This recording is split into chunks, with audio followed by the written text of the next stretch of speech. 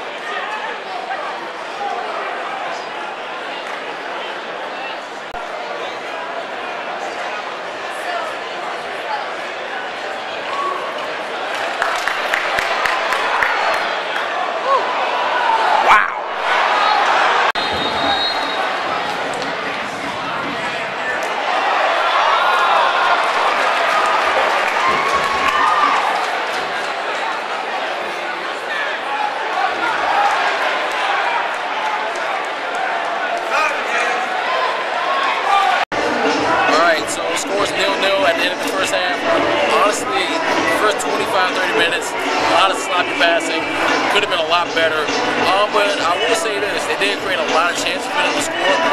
Um, very physical back and forth between both teams. Um, very scary uh, fouls that we saw. But I actually am optimistic for the second half. Um, hopefully, we actually can with these changes that we're getting. Uh, Delbridge and Djiby have to be careful because they already have yellow cards this half. But in the same respect, defense is actually holding up well outside of a few blips here and there. And offensively, I think Davis is going to be the X factor for our second half if we get some chances going for him. So hopefully we get this thing going, get, get a goal on board. Let's go FCC.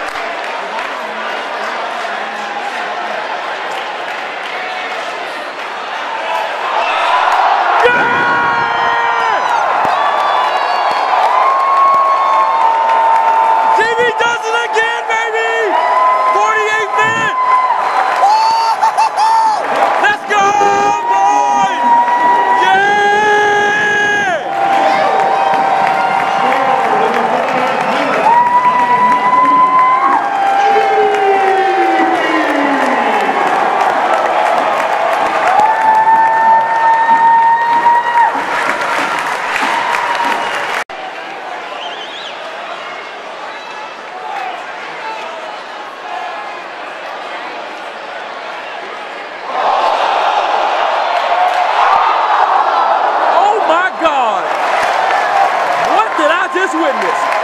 What a play!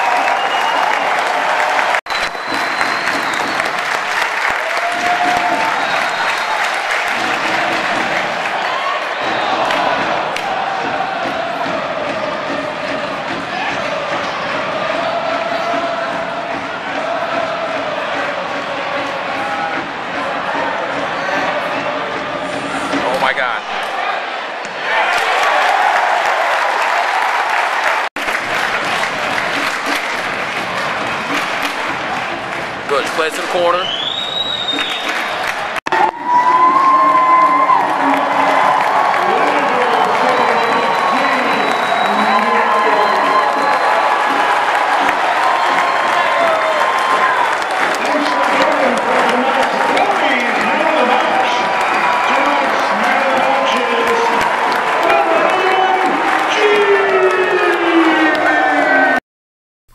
Three, two, one. What a game. Um well, first I'm just just baffled in a good way for once that it's just so great.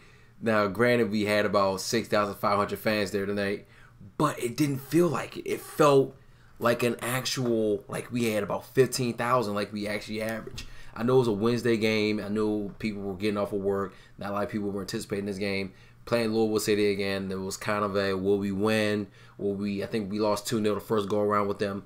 But no, it was a very good game. Um, it was very physical. I will give it that.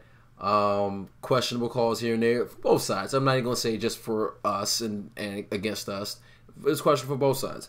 Um, I think our attacking play in the second half was much more crisp. There were a lot of plays that I didn't even think we could pull out. Um, but it was good that Djiby started us off in the second half uh, with the goal to get us back to get us uh, get us the go ahead winner. So the game winner that we had. Um, there were points in the game where the defense still has some troubles um, because they're they're allowing runs to be made by their uh, by their forwards. But I mean, Mitch played absolutely fantastic. I thought he could have been man of the match as well. Um, Koenig actually came off the bench and played well. McLaughlin played well. Uh, Djiby, outside of some mishaps, played really well. Obviously, with the go-ahead goal. Um, and no, it was fantastic. It was a good, good showing for the guys in blue and orange. And honestly, I couldn't be more happy because now at this point, we have a true test that awaits us. So on June 14th, we actually get to see our rival, not necessarily our rivals, but our buddies uh, of 71 and Columbus, actually the Columbus crew, come down to Cincinnati and play us here. And in terms of what we're trying to do for the MLS bid is actually huge. Um, and I couldn't be more excited for this team. Couldn't be more excited for the city. It's going to be great to see exactly what they can do in terms of playing against that level of competition. Yeah, last year we played against Crystal Palace, which they played basically like they played some of their A side, but then most of their B side. But this is going to be the true test to see if we want to make the MLS bid. Can we really play at that level? Um, I haven't watched I haven't watched Columbus Crew this year. I don't watch MLS, but I think it's going to be very exciting for the guys. Hopefully, we can actually get a win, and not even a win. I will be okay with.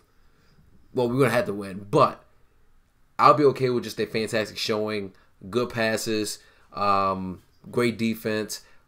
Uh, just make sure we're communicating and overall just letting us play freely. So I'm excited for the game. It's June 14th, so we have a we have a couple of weeks before the game even comes even arrives in Cincinnati. You better believe there's going to be a lot of fans there. I'm expecting at least twenty thousand because of the the because the crew that will bring their fans down. We'll bring our fans. It's going to be loud. It's going to be raucous, and it's going to be very exciting. So in the meantime, until then, we have about two. We have I think we have one home game beforehand, which is on June 10th. So you won't see any FC Cincinnati vlogs for a little bit. But in the meantime, if you enjoyed this video, please drop a like on this video. Subscribe to the channel if you're new. I would love to see this video at least hit two or three likes. Um, any any fan support or any support that you all can show me will be very appreciated. And let's continue to build the city of Cincinnati in terms of FC Cincinnati, even with the local sports around here. Let's continue to build this club up to reach, that potential because it's going to be great for the guys. So again, thank you all for watching the video. Hope you all enjoy. I will see you all in, in the next one, which will be June 10th against the Charlotte Independence, and then the big one on June 14th against Columbus Crew. This is your boy Jay. Hope you have a good one. I'll see you later. Peace out.